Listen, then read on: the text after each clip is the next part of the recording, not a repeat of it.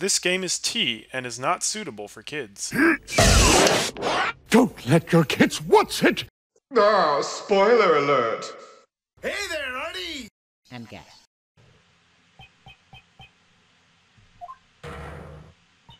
I am not amused. Interrupting my judgment only to be silent. Without thinking, I just blurted out objection. I have to answer. I won't let this end here. My reasoning is not over yet. So, how did she use the breaker without leaving the detention center? It's perfectly possible with this method. What made it possible to turn off the breaker? Her position as the warden, she had an accomplice, the timing of the incident. Um. Crap. The warden position doesn't really make any sense because I'm Buster Baxter. because she can't just fix it from her side. I would assume she had an accomplice could be possible. Timing of the incident was it like that morning? Was it stupid? Like the high voltage thing was not on. I feel like We have no record of that. I was about to say, I feel like if anything, it would be extra on because there's prisoners out there. So I would say she had an accomplice. It was indeed impossible for one person.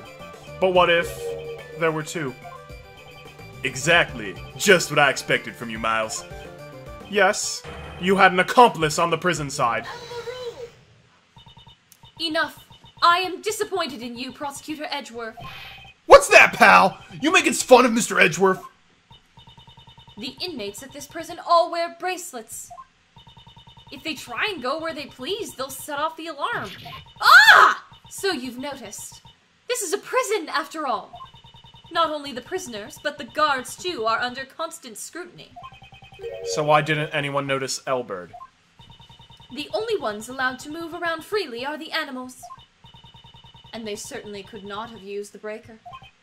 But it's still possible that a person did it. Excluding the inmates and guards, just what kind of person would you say it was? We can't exclude the inmates and guards just yet. There was only one person, one whose movement was not restricted. This evidence shows that there was someone in the prison who could move around freely. Was it the. Remember, the- his the- bracelet the- was broken. the- oh, whoa. Oh, yeah, and she's the one who was like, I really like Mr. Sod. He's Yeah. such an upstanding citizen. Yep. Gosh darn it. So he kind of did help. Yeah. That's fine, though. Yeah, it's kind of cool. I'm honestly okay with it. I was just so expecting, like, Dogen to be like, we were playing chess, and then, I killed him." that's more what I was expecting. And so that's why. and that's that- what the, it makes you expect. And so that's why when that didn't happen, I'm like, bet you it's the warden. that is, it looks like a bracelet worn by the prisoners. This belongs to a certain model inmate, and it's broken. What? Just who on earth does this belong to? I spat on myself. Frank Sahwit. Ugh! Ugh! Look at the upper screen. He looks awful. He looks awful on the lower screen. He looks too. like he got. He looks like he has hives. he, he also, I was sick that day. no, but it's like whatever about like his actual. Yeah, if you look down there on that bottom screen, it looks better. Upper screen, it looks like he got allergies and then got like chicken pox at the same time. Smile through the pain. He also looks like the Happy Mask salesman. He does, yeah. I've never noticed that. Someone pointed out that Ambassador Palaeno also looked like the Happy Mask salesman. No, this guy looks like it more. Yeah. Frank Sahwit. The warden's favorite inmate. Oh, look at that expression. Someone's nervous. the I love how the fox licking. is licking her sweat. Don't you think it's strange? He managed to keep this hidden while he moved around freely in his daily prison life. I wonder if it was like there was like romance happening or Oh. something. she was like, "Oh, I love this prisoner. He's so Yeah. wonderful." Golly, when you think about it, it shouldn't be possible. I'd hazard a guess that this was because he was a special case. Just like Sirhan Dogen in the special cell. The prosecutor's statement is merely conjecture. Hmm. Baseless conjecture. Just look at that face. You could find out by simply asking Sot himself. It is my firm belief that Mr. Sot and Warden Roland were partners in crime. Due to their collaboration, another route surfaces. The real route by which Knightley's body was moved to the prison. How many secret routes are there? There's like four of them now. There were two obstacles that needed to be dealt with. The security camera in front of Knightley's cell, and the electric fence in the courtyard. Both these problems could have been solved with a single stroke. By having Sahwit switch off the breakers in the breaker room. Mr. Edgeworth, could you wait one moment? Do you still intend to deny it, Warden Roland? Ah, I give in. I confess. Warden Roland! No, this cannot be! Yes, it's just as he says. Frank Sahwit and I were partners in crime. No way! You did it, Mr. Edgeworth! Well done, Miles. At last we have the real culprit cornered. No. Like Mr. Edgeworth said, Frankie operated the breaker. But we were not responsible for Knightley's murder. Wh- what? Warden Roland, whatever do you mean?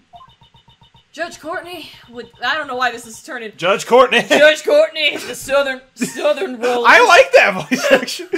Judge Courtney, I'm the Warden as, she, Roland. as, as Roland gets more and more like Agitated. agitated, she becomes more and more Southern. I have heard like not not in a bad way because I think Southern accents are cool. I have heard people sometimes from the South try and like ditch their accent, and then when they get either really upset or drunk or something, it like comes Yep. out, and they're like, Ugh. Yep. Judge Courtney, would the goddess of law hear my confession? The goddess of law is merciful. She will absolve you. I was being threatened. That's why I had no choice but to do as I was told. So, who's threatening you? Sirhan Dogen, the assassin. Dogen. It's been going on since that man came to the prison. I will never forget that day.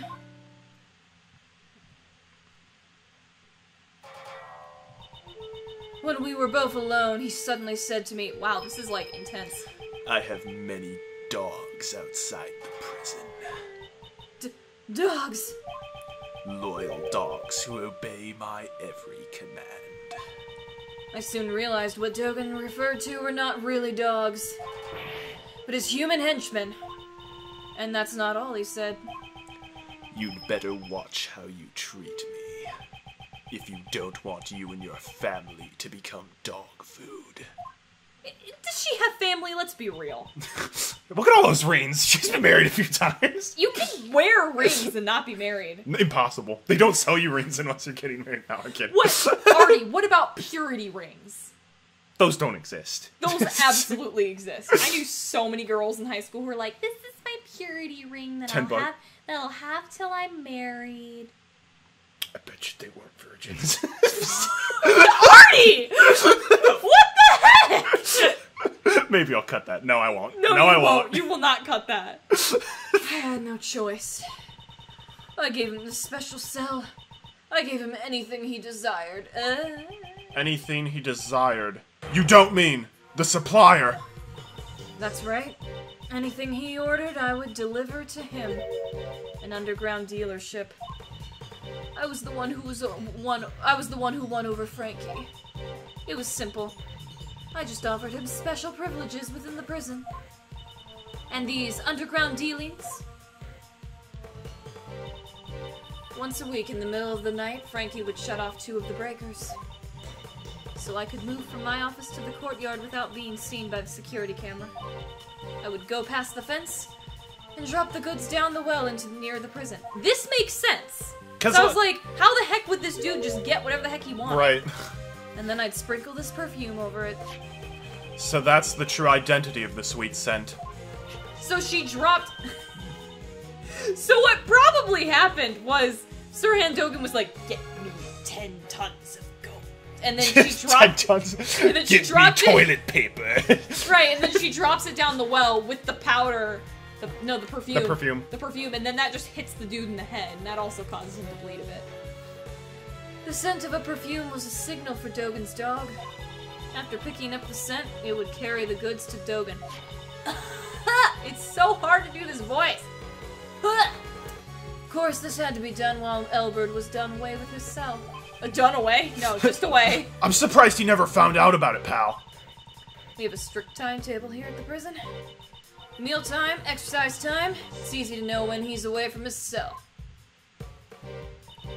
And since little Rocky's afraid of Dogen's dog, I didn't have to worry about him making noise. Who isn't afraid of Dogen's dog? Anubis I'm, is terrifying. I'm afraid of normal dogs who just want to jump on me and love me. Dogen's so- dog is trained to kill people. Dogen's dog's like, when I hear the so- sound of the bell, ding ding, Just like Jaws! Jaws. So, having full knowledge of the prison's inner workings, she made the deliveries herself. This would have ensured there was no slip ups.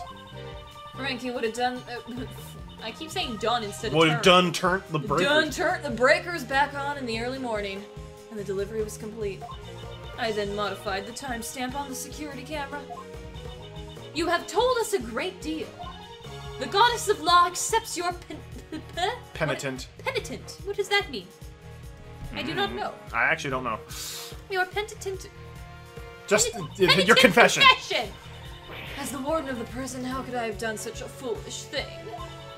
That day Knightley was killed was also a delivery day. Seems Frankie was working the breakers as usual. But the day I had nothing to send, so I did not go to the courtyard at all. The secret of the supply system. So then Warden Roland was. The police have been searching for Dogen's henchmen for ages. I've also been helping them, but. I've been interrogating him personally in my office, but. No matter how much evidence we have on him, we can't get a single word out of him. So the reason you kept on interrogating him. Yes, it was to find his henchmen. I borrowed all the evidence from the police and carried out the investigation myself. Whoa! Oh, she's losing it. Oh. I might need a different voice for her then, if she's like. You can give her a different voice when she's agitated, that's fine. I kept an eye on all of his actions and examined all of his mail. Mail, Like his correspondence chest letters. But I could never uncover the true identity of his henchmen. This fear, it's something you could never understand. Prosecutor Edgeworth, you were listening, right? I'd say this confession clears the warden of all suspicion. Is it really necessary to press her further than this? Is it necessary to press her further? Yes. Always. Judge Courtney, my questioning isn't over yet. I'm sure the goddess of law isn't satisfied yet This either. isn't Phoenix Wright where it's like, you want to press on someone? Are you Satan himself? Basically. you mean to badger this woman further? Even if she was threatened by Dogen, this does not prove she was not the culprit in this case. She was able to use the supply route to transport Knightley's body. Do you have any evidence to support this? The body gave off a sweet scent. The scent of perfume that was used to signify a delivery. Can you explain this fact? Oh, of course. Since I've made so many deliveries, the scent would have lingered around the well. When the body was moved through the well, the scent would have transferred to it.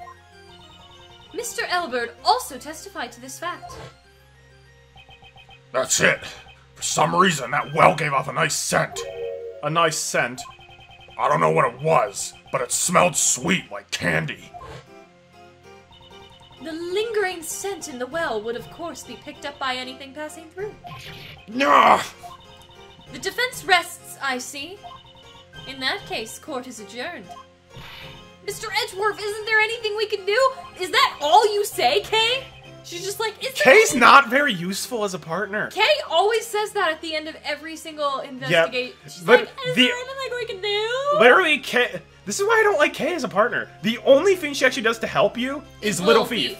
And that's like, that's it, it is Some of helping it us, is not we're her. used to.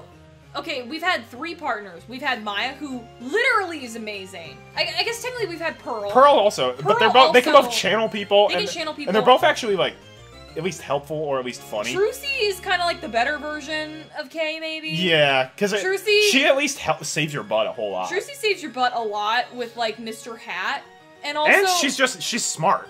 she is smart. She does use. She's Phoenix Wright's daughters. yeah. That's the only thing where I'm like, Kay could be better. But the fact But that she's it's not like, talking about underwear. No, but here's the thing with Kay. or purity Kay, rings.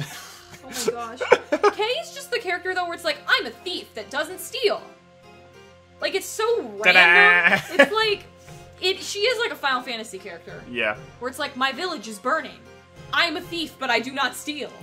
Please save me, Cloud. I'm like, uh, what? Okay. Is this Yuffie? I'm the great Yuffie. What should I do? Is this as far as I can go? Is it over already? You were freaking out. Yes, Sebastian, it is. And now court is officially adjourned.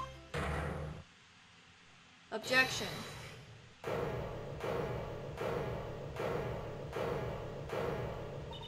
Who?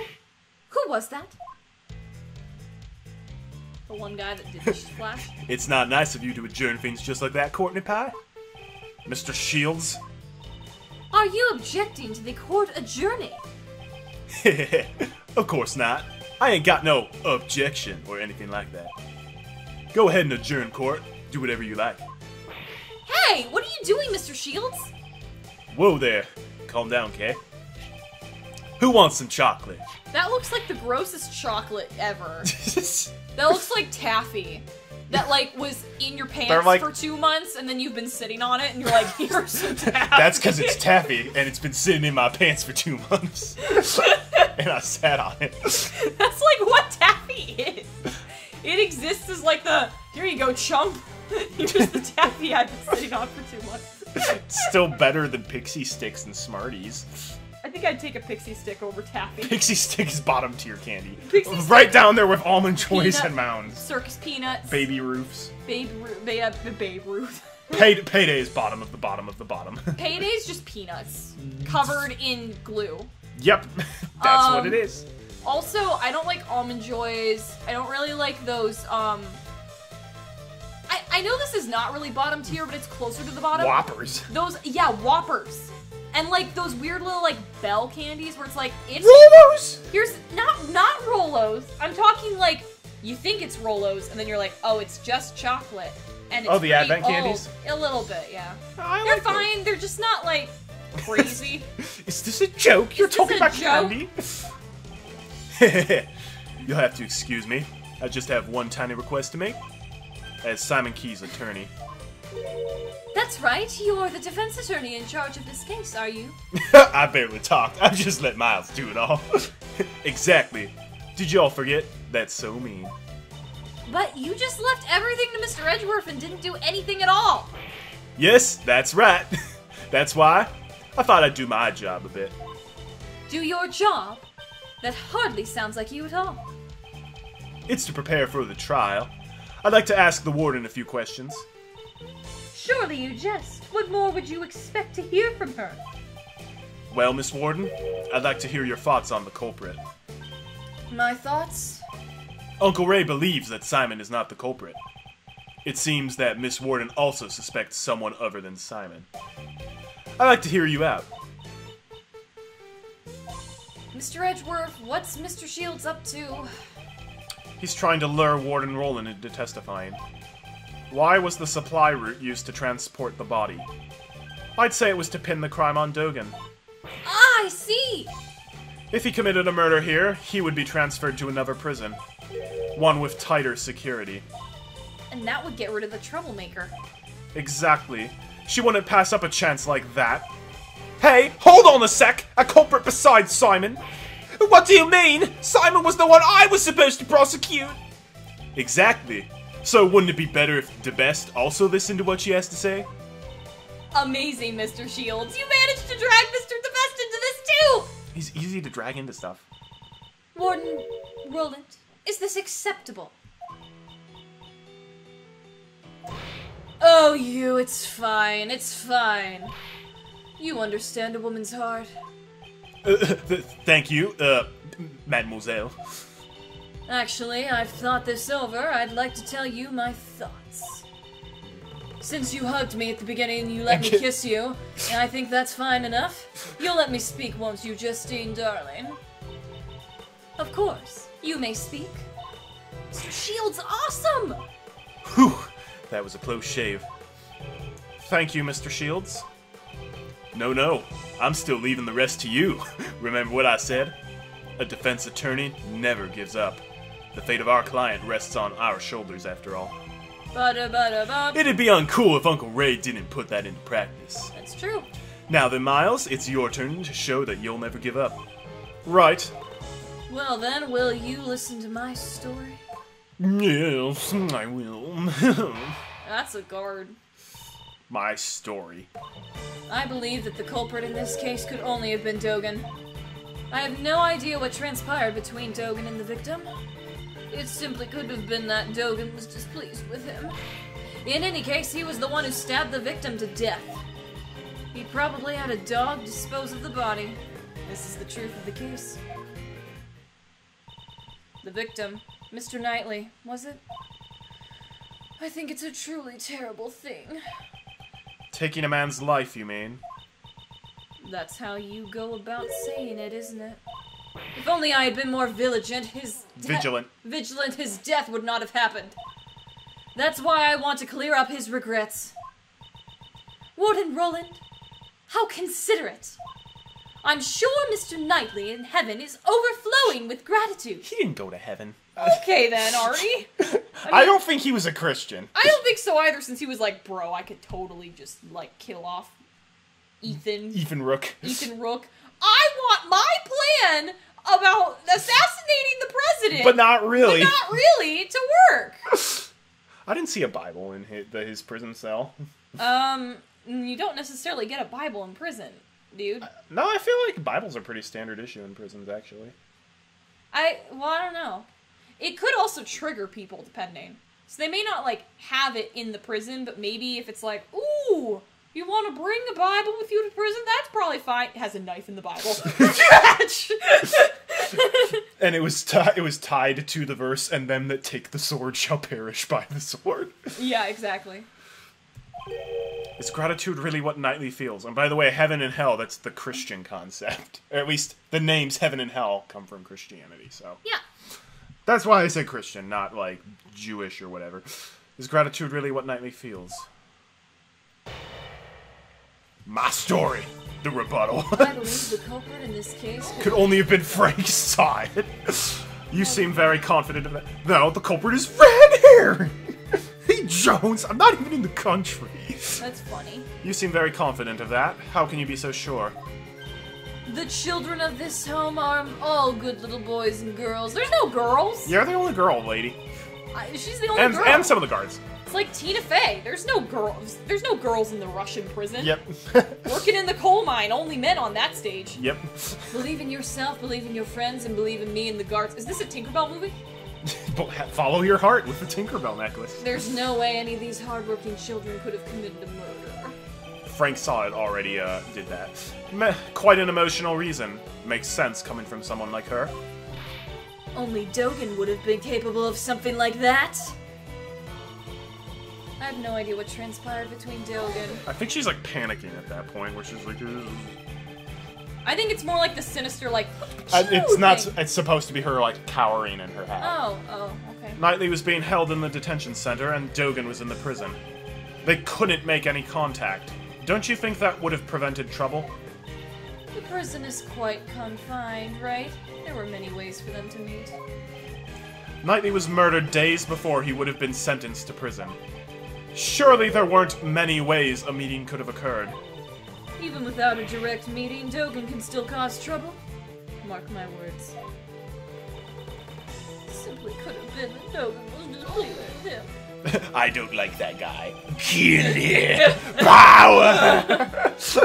what I don't know why we made him the Emperor, but it's fine. I, I, the Emperor voice is not what I wanted to give him, but I can't do the voice that I wanted to give him. That's okay. What could Knightley have done in the detention center to displease him? Was just an example. You don't have to take it so seriously. Didn't I already say that I have no idea what transpired between them? Nevertheless, you certainly are a serious one, Edgeworth dear. Wh- what's this? That piercing gaze. Always standing straight and stiff, very nice, looking very clever, my dear. I think I'm about to become your biggest fan. Nope. Impossible, old Impossible bag. old bag. Nah! Mr. Edgeworth, stay focused. It's just a flesh wound. R- right. Is this some form of psychological warfare? Yes. Shall we pardon the sin? She was. He was the one who stabbed the victim to death. I'd like to hear your thoughts about the circumstances surrounding the murder. Well, I suppose it was a simple job.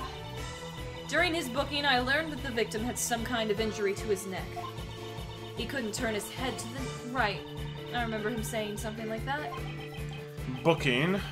That's the process one undergoes before being locked up in the detention center. It sounds like you don't really know a lot about Knightley. I only know a little.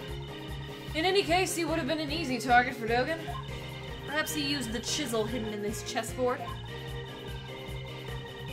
How did he know? How did she know that? We didn't tell her about that, right? No, we did not.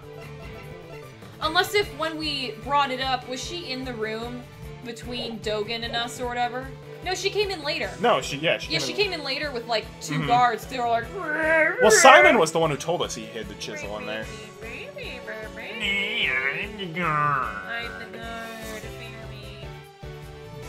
The victim wouldn't have even had a chance to scream. I see. Your opinion will be a very valuable reference. Could you add those last statements to your testimony? Oh, you're making me blush. You're so cute. C A C U T E. I can't I think spell. I'm pretty sure in Japanese when they do that, it's like It's spelling the hiragana. it's like they're just supposed to say it slowly, right? Or like say each syllable at a time. I, I don't really know. Yeah. So if you were gonna be like, I love you, really slow in Japanese, where it's like, I love you, it would be like daisuki, uh, daisuki. Mm. Uh, And that's why. Daisuki, kind of like that. And then, okay, so that's kind of the only kawaii. That would be what it would be. kawaii. That's that means cute. I know. I am aware of that word. Well, there you go. I'm just kidding. I'll continue. You want to know something funny, Arty? What? So, kawaii means cute, but kawaii means scary. kawaii and kawaii. So, kawaii is C O W A I. That Oh. means scary. Kawaii, which Is is, like K W K-A-W-A-I-I. A I I. Yeah. Yeah, but it's so similar, isn't it? It's it's Hawaii but with a K. Yeah. The Hence chessboard. The thing that the victim brought with him. It seemed like he really enjoyed playing chess. How could I have guessed that chisel would be hidden inside it? The chisel and the chessboard. That fact is only known by a select few people. This was the answer we arrived at from our reasoning, after all. So then, why does she know about this? In Dogen's hands, even a chisel's enough to be used as a lethal weapon. I'm, I'm sure of that. And, uh, Simple job. You certainly seem to hold strong feelings towards Dogen. That's just natural. Remember my interrogations. That man, no matter how much evidence we find, he's still as slippery as a snake! You've got a lot of guts. That smug look he had on his face when he returns to his cell! Ah! Just thinking about it makes my stomach churn! I can sort of understand how you feel. That was fun. Yeah. I had a dog dispose of the body. This is the truth. he has many. he actually has five black this dogs. This is my dog, Reuben. Reuben. What's his actual dog's name? Anubis. this is my dog, Anubis. This is my dog, Reuben. I like that. I like Reuben. Reuben. dog. Reuben. This is why we take a while. Do you mean to say the dog Reuben threw the body into the well? Dogan had more than one dog, not just the joking. black one. You know. Oh, a different black dog. Didn't I tell you he had a dog named Reuben? he has henchmen outside these walls as well. You mean his henchmen outside of the prison aided him in his crime? Of course not. They would have been caught by the security gates. But think about it. Wasn't he the supplier? It's not hard to think he had dogs within the prison, too. Oh? Well then, why don't you tell me the names of those so-called dogs? If I knew that, I wouldn't have gone through so much trouble. In any case, it's still a possibility. Please try to consider it. She's dodging the question. Can't I pursue this line of thought any further? Warden Roland's testimony's covered in lies. If I pick them apart one by one, her true colors will surely be revealed.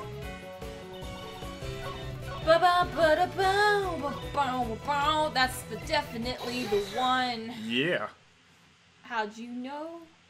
Tell me more, tell me more. More. Does, does he have a car? Uh-huh. mm, Warden uh-huh. Roland, you certainly are sharp-witted.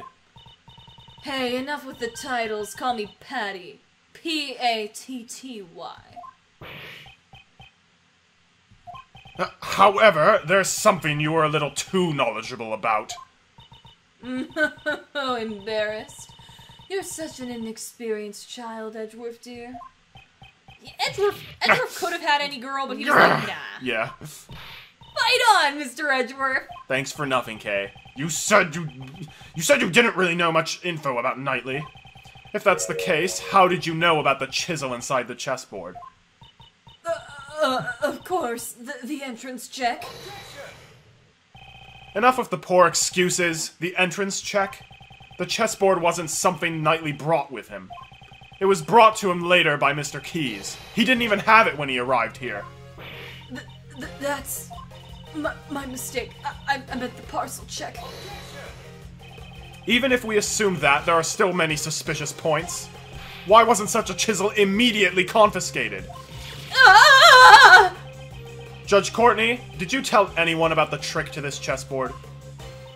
I did not.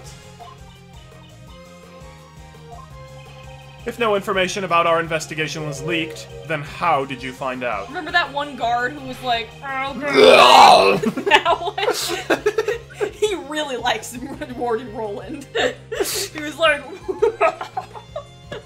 around her. I'm not even gonna touch that with a 10 foot pole. you could not have examined this during the entrance check or the parcel check. Certainly, someone in the warden's position would never have a chisel, would never have let a chisel slip by. Exactly. So answer this, Warden Roland. When and how did you learn about the chessboard secret? Hmm. In that case, I shall answer for you. It is because I give up, Edgeworth, dear. It is as you say. Hmm? I interrogated Knightley. That's how I learned about the chessboard. But please believe me, I didn't kill anyone. Enough. It would appear that we have uncovered some vital information. I'll ask you to testify once more, if that's all right with you, Prosecutor Edgeworth. no objections here. Thank you, Edgeworth, dear. I'll do my best. Well then, Warden Roland, I trust there will be no lies from here on out. Are you kidding? I have a 10 more testimony. No, I'm kidding. I would not be surprised. Her pool of lies is slowly running dry. Soon I will bring out her true nature. True I think this is the final testimony. true My story part two. Are you quite finished? That that girl who sings that kind of drives me nuts. She's so This is gonna be free episodes. I wouldn't go so far as to call it an interrogation. I always make sure to talk to all the new arrivals. Mr. Knightley, yes, we had a little chat. After our talk, he went right back to his cell, I assure you. um, just question: Is your voice? If your voice is killing you, we can take a water break. Sure.